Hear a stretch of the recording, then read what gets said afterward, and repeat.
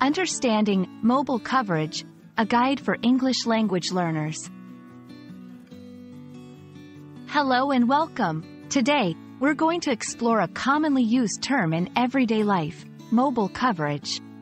This video is designed to help English language learners understand what this phrase means and how it's used. Let's dive in. Mobile coverage refers to the geographical area where a mobile phone receives a signal from a cellular network. It's important because it determines where you can use your mobile phone for calls, texting, and internet services. Think of it like a signal area, where your phone connects to the network. 1. Signal strength.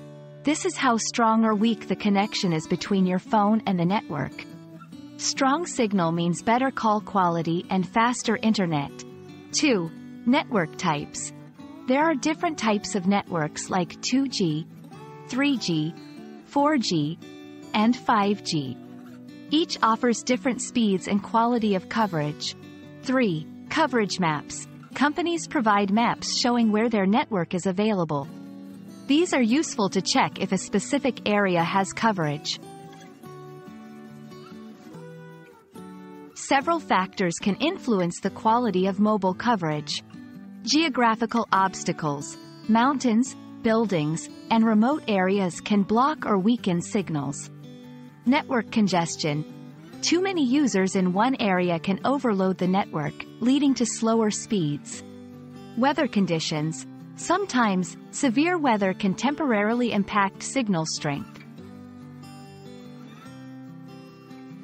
Good mobile coverage is essential for staying connected, for calls, messages, and using the internet.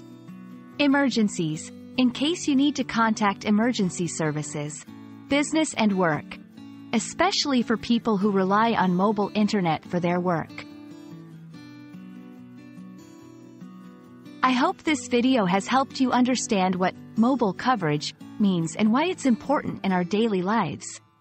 Remember, good mobile coverage is key to staying connected and accessing services. Thank you for watching, and see you in our next English language learning video.